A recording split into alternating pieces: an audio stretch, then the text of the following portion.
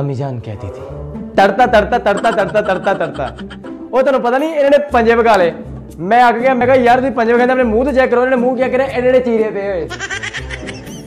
ਉਹ ਤੁਹਾਨੂੰ ਪਤਾ ਵਾ ਨਾ ਦੁਨੀਆ ਕਿੱਡੀ ਝੂਠੀ ਹੈ, ਸਾਡੇ ਨਾਲ ਬਹੁਤ ਝੂਠ ਬੋਲਦੀ ਹੈ। ਇੱਕ ਬੰਦਾ ਮੈਨੂੰ ਮਿਲਿਆ ਤੇ ਕਹਿੰਦਾ ਕਿ ਮੇਰਾ ਭਰਾ ਐਡਾ ਸੋਹਣਾ ਵਾ, ਪਾਣੀ ਪੀਂਦਾ, ਇੱਥੋਂ ਨਜ਼ਰ ਆਉਂਦਾ ਮੈਂ ਭਰਾ ਵੇਖੋ ਉਹਦਾ ਬੋਲੀ ਪਾਟਾ ਸੀ। ਉਹ ਨਾਜ਼ਰੀਨ ਦੁਨੀਆ ਵੇਖੋ ਕੈਸੀ ਕੈਸੀ ਆ। ਇੱਕ ਬੰਦੇ ਨੇ ਪਹਿਲੀ ਵਾਰੀ ਹੱਥ 'ਚ ਪੰਜ ਅੰਗੂਠੀਆਂ ਸੋਨੇ ਦੀਆਂ ਪਾ ਲਈਆਂ। ਮਾੜਾ ਬੰਦਾ ਸੀ ਪੰਜ ਅੰਗੂਠੀਆਂ ਸੋਨੇ ਦੀਆਂ ਪਾ ਲਈਆਂ। ਪਾਨ ਨੂੰ ਆਪਣੀਆਂ ਅੰਗੂਠੀਆਂ ਵਿਖਾ ਰਿਹਾ। ਪਾਨ ਕਹਿੰਦਾ ਪੰਜ ਪਾਨ ਲਾ ਦੇ। ਅੱਗੋਂ ਪਾਨ ਦੇ ਵੀ ਦੰਦ ਸੋਨੇ ਸੀ, ਕਹਿੰਦਾ ਕਿਹੜੇ ਲਾਉਣੇ? ਹੁਣ ਦੱਸੋ ਆਇਆ ਨਾ ਮਜ਼ਾ?